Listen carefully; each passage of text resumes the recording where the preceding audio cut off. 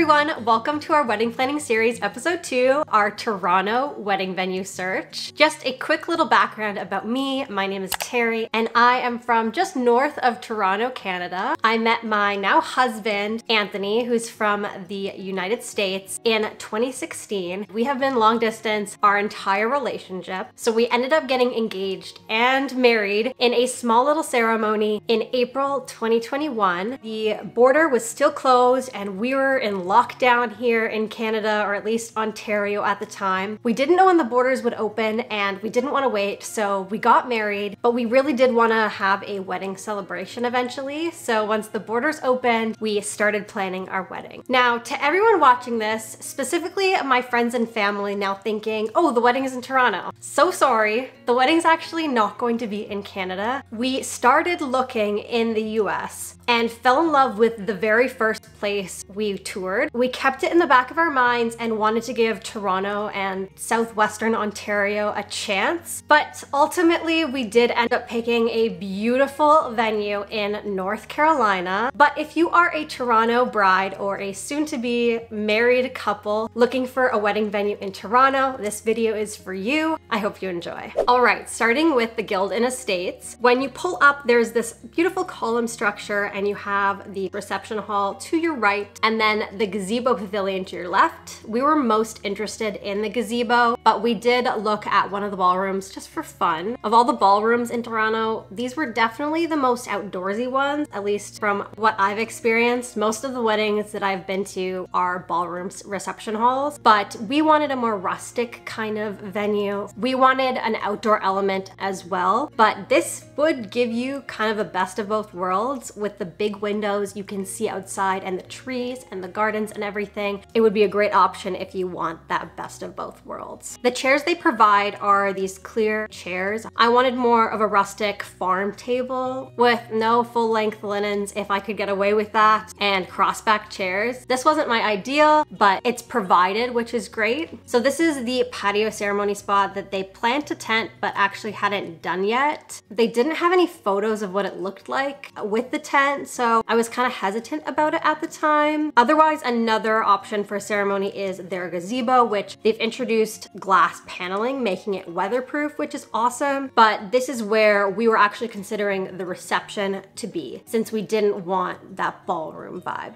It's got a really nice modern feel with the outdoor element, which was a big thing for me. The other side was just a very blank white wall where you could do the bar or the head table. You kind of had options to customize the space in here because it was a big open square kind of room. I actually found this option by watching Nitsan's wedding video on YouTube. She's a YouTuber and she was planning her wedding in Toronto and I found her through her series. She had a reception at the gazebo at Guild Inn and they did it up really nice with like lights on the top of the ceiling. I really was inspired by her wedding to tour this venue. A huge plus is that there's no wedding fee with a minimum number, which was great. We were probably thinking we would hit that number because I have a huge family. Lots of venues do have a fee on top of your catering if it's in-house, which Guild Inn is. They would have a per person fee as well as a venue fee, but this place didn't with your minimum number. They did have a ceremony fee though. I believe it was $2,000. Prices will change. They will go up as years go on, so don't quote me on the prices. If I mention any in the video, uh, just check out the link below for all the venues that I feature. They also had a tech fee and SOCAN fee, which all venues have that fee for weddings. And their service fee was definitely the highest of all the venues, which makes sense since they don't have a venue fee. Another plus of this venue was they have great grounds for photo opportunities. You can see Lake Ontario. This was April 2nd, so not a lot of growth in the area to see what it would look like in the summer wedding that we wanted, but definitely lots of photo opportunities. Then that patio for the ceremony I was talking about is in front of the white building that's connected. So if it were raining, you would travel inside from your ceremony to your reception. If it wasn't, you could go outside into the gazebo if that's where you were having having a reception, otherwise to the ballroom. While the gazebo had a good capacity number, I wanna say it was like 400 for a seated dinner or maybe less than that, I'm not sure. The patio really didn't feel like it could actually fit that number and everyone would be sitting on an angle as well. People would be here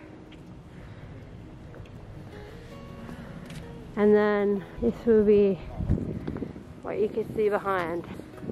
I don't know, just some question marks there. We did explore the grounds though, which like I said, would be much more lush in the summer, but they've got different sculptures and columns throughout for great photo opportunities, which is awesome. Next up is a venue called Ravine. It is a winery in the Niagara on the lake region. We looked at their barrel cellar as an option for rehearsal dinner. If you were having a smaller wedding, you could have it in the barrel cellar. There's 60 guests seated or 80 for cocktails cocktail and canapes. So if you're thinking about a smaller wedding, you could have it there. And this is our uh, charcuterie room where we uh, cure the meats. Oh, fun. I didn't even notice that but the Ravine Event Center was more our vibe and what we were going for with our number. Their max is 250 for a seated dinner. Once you walk in there, there's an entryway plus a little bridal suite that would be accessible throughout the day. I will just point out the floor is carpet. It is a nice carpet, like it looks fancier. It's 4,000 square feet inside. The bar would be in the back and you can hang stuff from that like wood hanging feature, which I really liked. Plus I liked that like rustic feel in there. The number one part that I loved were the tables. They were way more my vibe than Guild Inn. Rustic and can be left uncovered or have like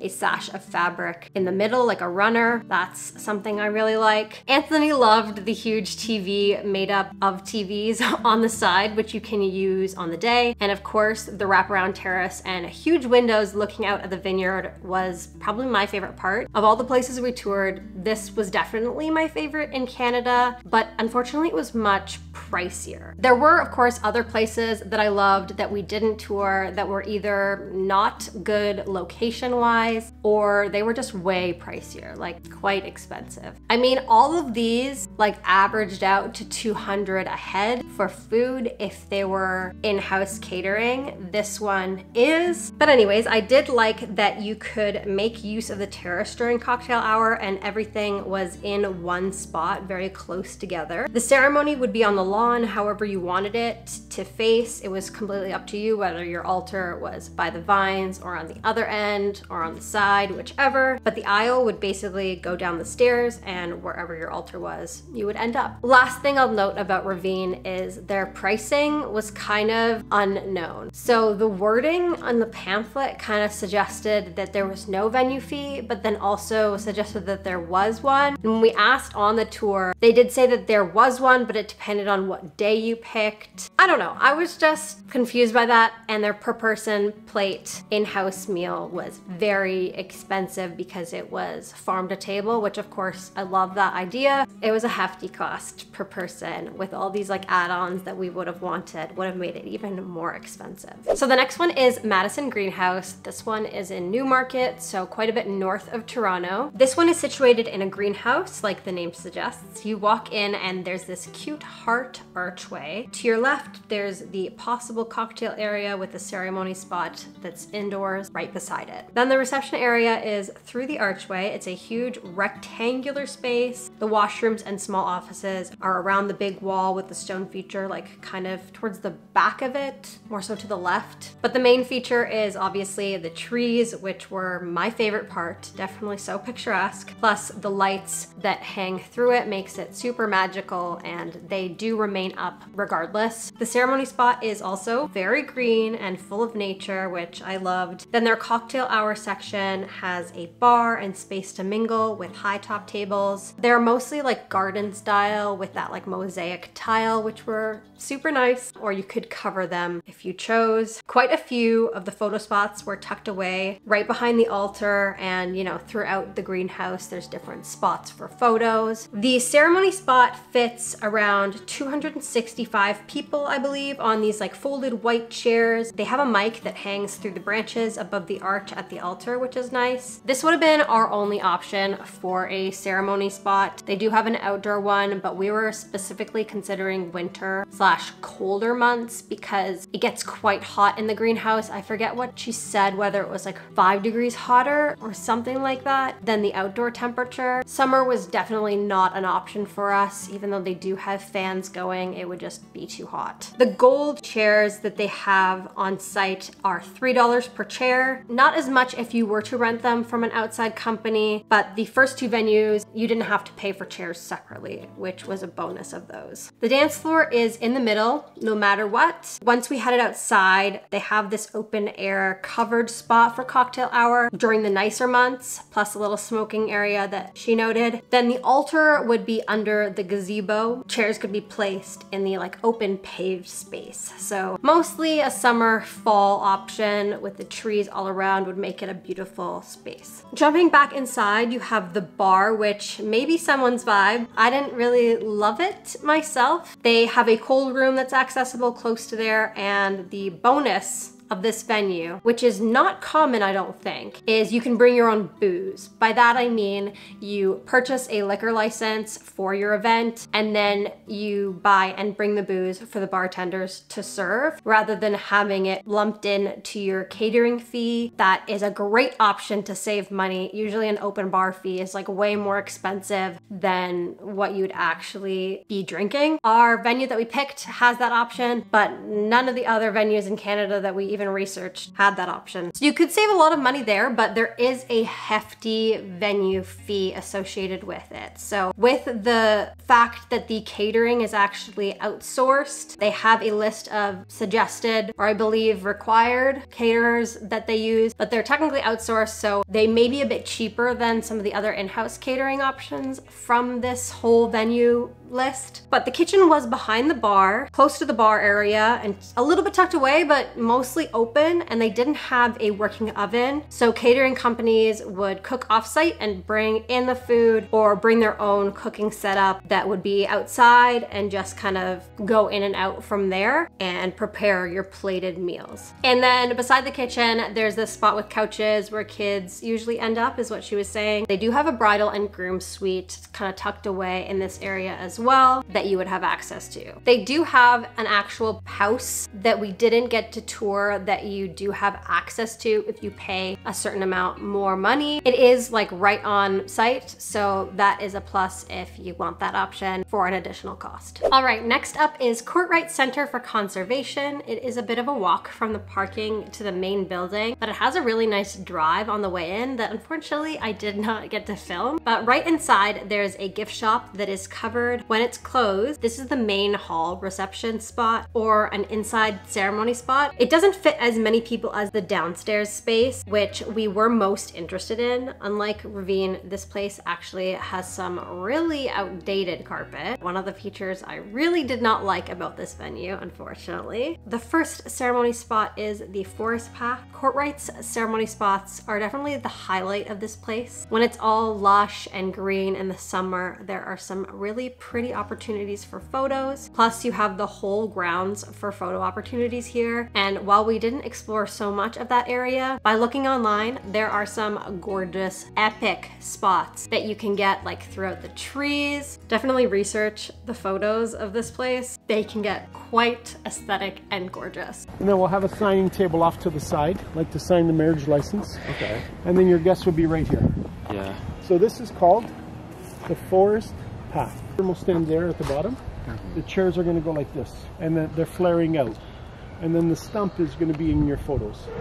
Okay. But yeah, all green, right? Mm-hmm. all of the sites are very pretty. It's just a matter of preference. The one sad thing about this place though is probably the nicest spot for reception wouldn't fit our guest list. I have a huge family, like I said, and our draft one list was just about 300 people, and the glass house would only fit around 120. So we were planning to have this spot as our backup ceremony spot, since you could see more people in like a theater style, but it would make a great cocktail hour space. You have access to the whole grounds, like I said. There's a later start time because this place is open to the public during the day, but you have the area to choose from. You just need to timeline it a little bit of ahead of time where you want each section of your event to be held. Farther from the building is the best ceremony spot in our personal opinion. You can't actually have the lights turned on here unless you got a generator, but during the day it wouldn't really be necessary. It just adds to the beauty of the space. I will say that when I was trying to figure out how many people could be seated, I don't know if that many people could be in a row, so it might have a lot of rows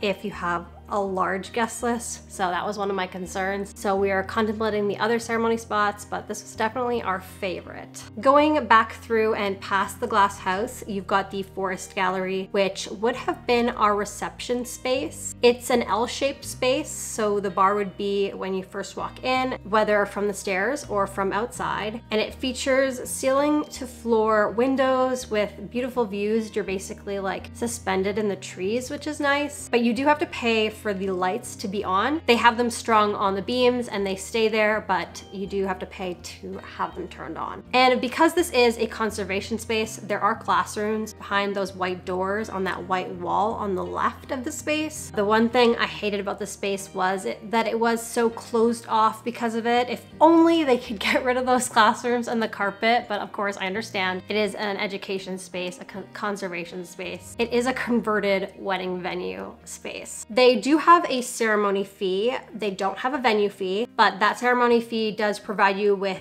these white folding chairs, which you can use for your reception if you want. I wanna say that there was a cost for that though, or it was provided, I'm not sure. Otherwise, you get the gross plastic lawn chairs that you could cover if you wanted to, but we would have had to rent outside chairs for an event here. And they do have an event company that they work with for rentals and their catering is in-house with a company called Peter and Paul's. Otherwise, there is no reception fee. So of all the places we did consider, this was one of the cheaper options of them and also one of Anthony's favorite venues. It was the one that we would have leaned towards the most in Canada if we chose to have our wedding in Canada. I really liked how they have this wraparound patio you could use during the night as like a space for fresh air or a great spot for people to mingle during cocktail hour. You do have to pay extra for the fire spot to be lit up for a like s'mores kind of thing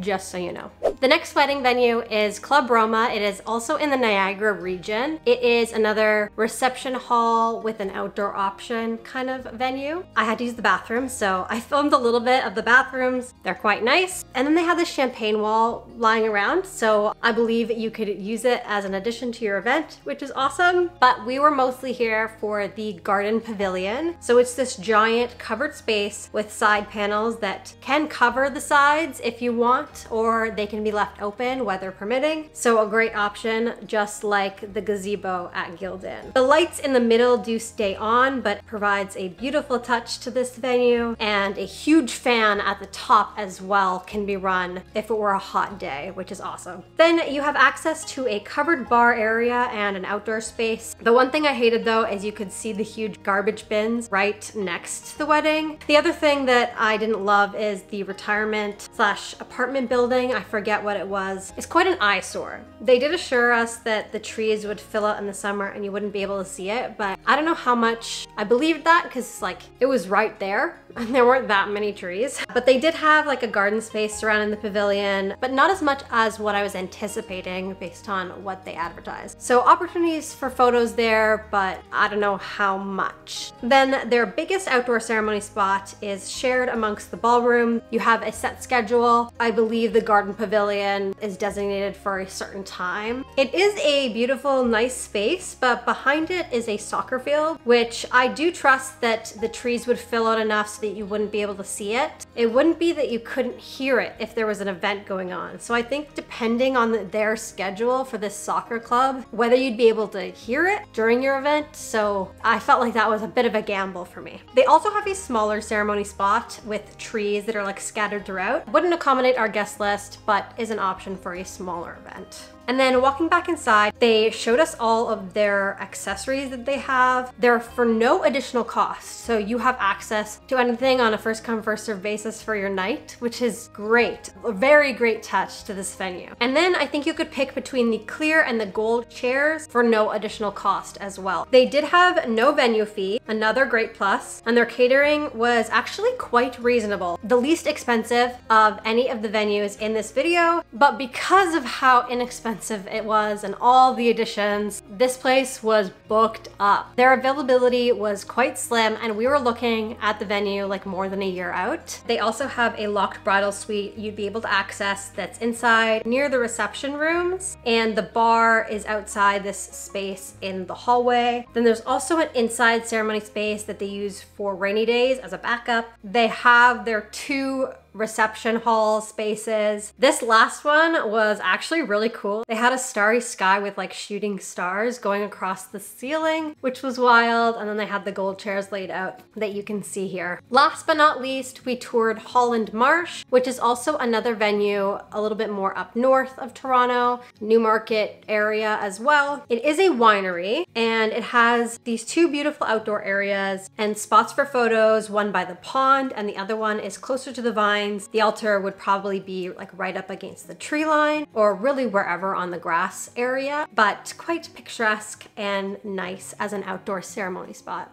Another ceremony spot could also fit people on the stone patio area, would not accommodate as many people, or you could do that as a rainy day backup. Open the doors, I think, and have the chairs inside and then have your altar just outside. Or what we were going to do was have our cocktail space be on this patio space. You could have those barrels used as like high top tables. I believe you had access to a certain amount of them for your wedding, but unfortunately you couldn't leave the doors open. So I would have liked like an in and out kind of situation. They said unless it's a ceremony, we leave the doors open, but not for like a cocktail hour. You would have to go like through their front door area into the reception. So this is this is where that is. Tiny little foyer space and then into the main reception space. It gives me like northern Muskoka cottage log house vibes very much with all the like natural wood in there. And there was quite a few windows, so provided a good amount of natural light, which is always great. I just didn't didn't love the orangey wood as much. The bar is situated in the back and they do have stairs going up to a space that you could use for any overflow guests that they can't accommodate on like the main floor. And then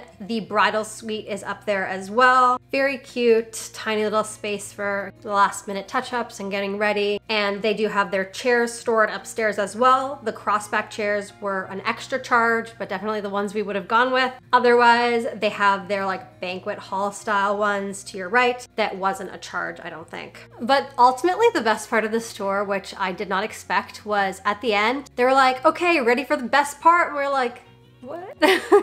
Let's taste the wines. And I was like, okay. They let us have a sample tasting of each of the wines that would be part of your day. They did have a venue fee at this location, but they have wine included and all the house wines on the list you get to taste. So that was the best part. Catering was outsourced as well, but they had a list of the catering that they go with. So that maybe might offset the venue cost a little bit, but that was the the last venue we toured and it capped off with a wine tasting. And the wine was very good, I will say. so those were all the wedding venues we toured in Toronto and Southwestern Ontario. None of them really took our breath away like the one that we picked in North Carolina. We are comparing both the pricing and the outdoor features to the one that we loved and nothing price-wise and like views wise compared. So that was why we didn't pick any of those venues here. They could be great options for you. I hope you found some value in it. Like I said, all the links to each and every venue will be down below if you want to take a look. If you did like this video, please don't forget to give it a like and comment down below which venue was your favorite. And please don't forget to subscribe if you have not already. Thanks again for watching everyone and I hope you have a wonderful day. Bye.